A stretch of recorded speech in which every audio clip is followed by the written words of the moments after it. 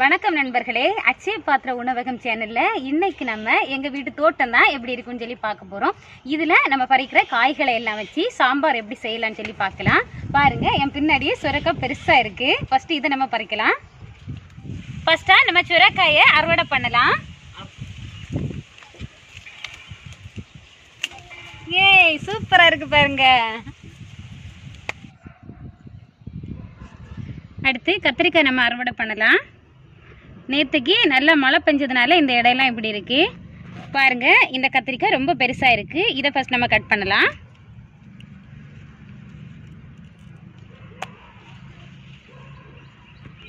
இந்த மாதிரி பெருசாக இருக்கிறத பார்த்து நம்ம கட் பண்ணி எடுக்கலாம். கத்திரிக்காவை நட்டு ஒன் இயர்லாம் அது நல்லா இருக்கும். ஒன் இயருக்கு அப்புறம் அது கொஞ்சம் வதங்கி வாடி போனது போல் இருக்கும். அந்த டைம் அதுக்கு ஒரே எல்லாம் வச்சு நம்ம அதை கொண்டு வந்துட்டோம்னா லைஃப் லாங் அது நல்லா நிற்கும் அப்பப்போ இதில் காய் வந்துக்கிட்டே இருக்கும். அதான்.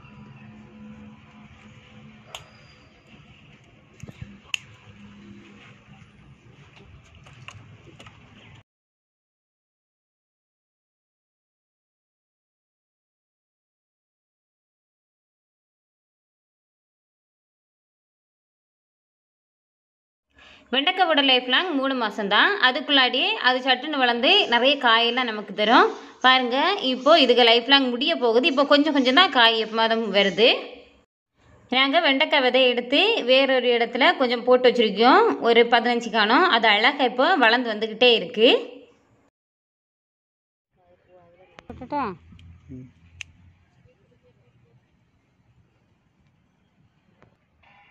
ம்.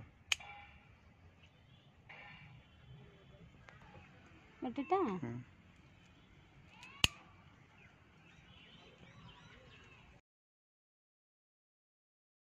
இது பார்க்க கொஞ்சம் முத்தின காய் போல இருக்கு. ஆனா இது வந்து இது நாட்டு வெண்டைக்காய். நாட்டு வெண்டைக்காய் வந்து இந்த வெள்ளை கலர்ல இருக்கும். இது வந்து இன்னும் பெருசா வளரும். இப்போ சின்னதாக தான் இருக்கு. நம்ம இதை கட் பண்ணலாம் இப்போவுமே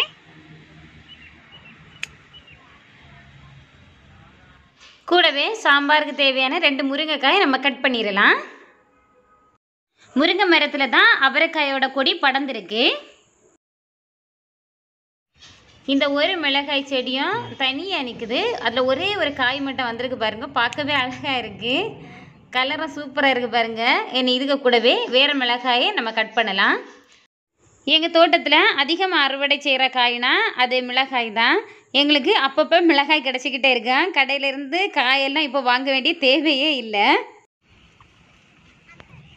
கட் பண்ணட்டா?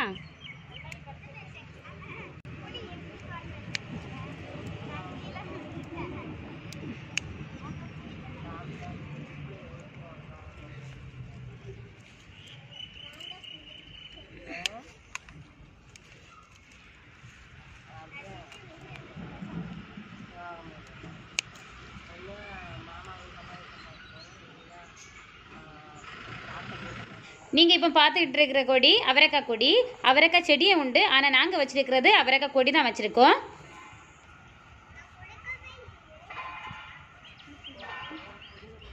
இந்த கொடியோட மேல் புறத்துலேயும் அதிகமாட்டு அவரை கிடக்குது. பட் நான் கீழே இருக்கிறது தான். இதுதான் வீடியோக்கு ரொம்ப விசிபிளாக இருக்குது அதனால் நான் இதை கீழே நிற்கிற இந்த அவரைக்காயை கட் பண்ணுறேன் உங்கள் வீடை ஒட்டி கொஞ்சமாக காலி இடம் இருந்தாலே போதும். இந்த மாதிரி நீங்கள் ஏதாச்சும் ஒரு செடி பயிரிட்டாலே போதும். இதிலிருந்து நல்ல ஒரு விளைச்சல் நமக்கு கண்டிப்பாக கிடைக்கும். கடைகளில் இருந்து அதிகமாக காய் வாங்க வேண்டிய தேவையே நமக்கு இருக்காது. இதை வரைக்கும் ட்ரை பண்ணி பாருங்கள் கண்டிப்பாக உங்களுக்கு ரொம்பவே பிடிக்கும். அதுவும் இல்லாமல் நம்ம வீட்டிலே பயிரிட்டு நம்ம கிடைக்கிற காயை சாப்பிடும்போது ஒரு ஹாப்பி நமக்கு இருக்கா நம்மளே விளைவிச்சு நம்ம இதை சாப்பிட்றோம் அப்படின்னு ஒரு சந்தோஷம் கண்டிப்பாக இருக்கும். நேற்றுக்கு பெஞ்ச மழையில் கொத்தவரக்காய் அப்படியே சரிஞ்சிடுச்சு. இனி இதே நம்ம கட் பண்ணலாம்.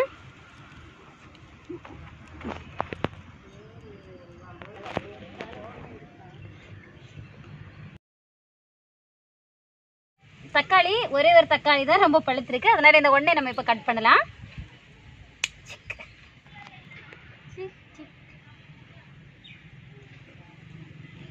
இதில் தான் நாங்கள் இன்னைக்கு அறுவடை செஞ்ச காய்கள். இதை விட அதிகமாக காய்கள் இருக்குது பட் சாம்பாருக்கு இவ்வளோ போதும் சொல்லி தான் நான் இவ்வளவுமே எண்ணெய் பறிச்சிருக்கேன். இன்னும் அதிகமாக காய்கள் இருக்குது. இதை வச்சு இனி அடுத்த வீடியோவில் சாம்பார் எப்படி செய்யலாம்னு சொல்லி பார்க்கலாம். இந்த வீடியோ உங்களுக்கு பிடிச்சிருந்தா லைக் பண்ணுங்க. உங்க ஃப்ரெண்ட்ஸுக்கு ஷேர் பண்ணுங்க. மறக்காம சப்ஸ்கிரைப் செய்துட்டு பக்கத்துல இருக்கிற பெல் பட்டனை கிளிக் பண்ணுங்க. வீட்லயே சமைக்கலாம். நலமாக வாழலாம்.